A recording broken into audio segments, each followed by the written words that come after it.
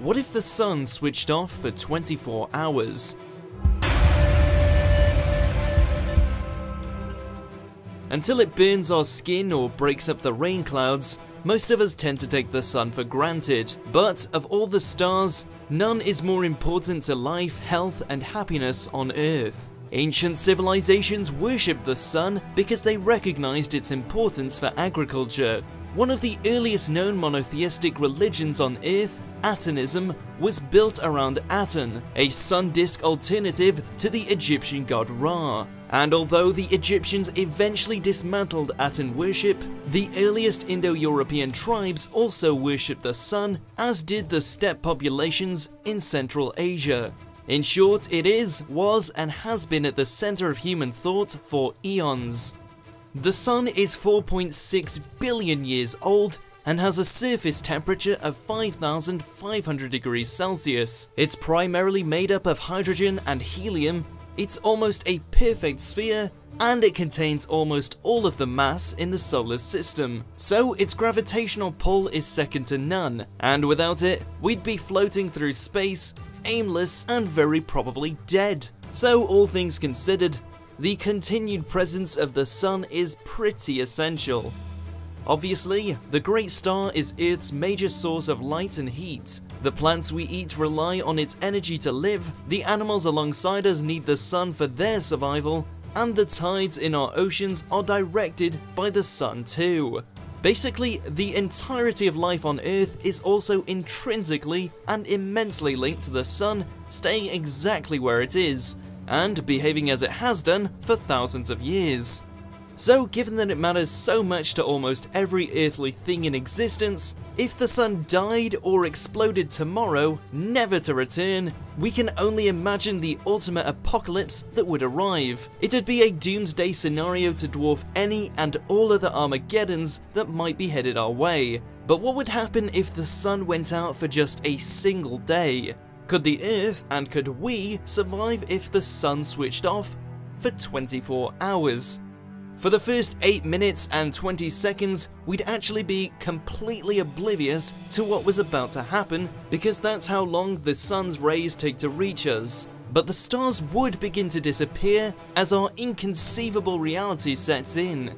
The somewhat encouraging news is that the Earth actually absorbs significant amounts of the sun's heat every day. According to some calculations, if the sun stopped shining tomorrow, the Earth would only seriously start to freeze after a few months. That said, the Earth's surface temperature would definitely drastically drop with every passing day. As we live and breathe right now, the average temperature on the Earth's surface is approximately 14 degrees Celsius, Without the sun, this would likely drop to below freezing within a week. So only the hardiest of humans could hope to survive on a sunless planet for much more than a few days. Unless we all evacuated down some seriously deep holes or boarded some probably pretty impractical submarines to bury further into the earth and outrun the cold just a little bit longer. But we're imagining just one day without the sun, so does that mean that we'd just be really cold for a little while, shivering slightly in the darkness before everything returned to normal? Well yes, and no. As the surface temperature instantly begins to cool, everything would enter into an unprecedented process of dying, with photosynthesis halting immediately. And if there is time for humans to panic, then we definitely would racing toward artificial heating systems and thereby overloading power and electrical grids all around the world, we'd be faced with the stark realization that there really is nothing we can do. Our world leaders would likely lose authority, and our spiritual beliefs would be tested to their extremes. While some natural disasters afford the victims at least a degree of hope, there'd be virtually nothing to cling to here, beside the apparent certainty that you and everyone else were about to die. Except you probably wouldn't. In the impossible event that the sun switched off and then switched back on again, when the central star returns the relief would be like nothing else ever experienced, especially if the sun's initial disappearance has come as a complete surprise in the first place. But although the eternal darkness will have lifted and bearable temperatures will have returned, our psychological states would likely need a much longer recovery period than the plants and crops which very nearly perished especially as we'd be forever watching the skies from that point forward, waiting for maximum catastrophe to strike again. But of course, all of this is assuming that, other than the disappearance of light and drop in temperature, the Earth would otherwise just continue on as usual, which it definitely wouldn't do.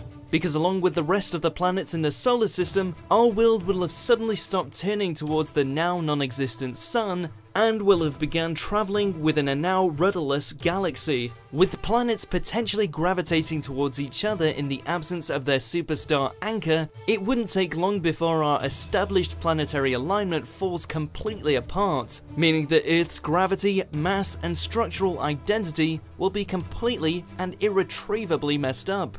The scary thing is that scientists aren't totally sure what the immediate effects of a sunless solar system would look like. It's almost impossible to guess. But we'd likely not have long to experience it anyway, before cosmic crisis sets in.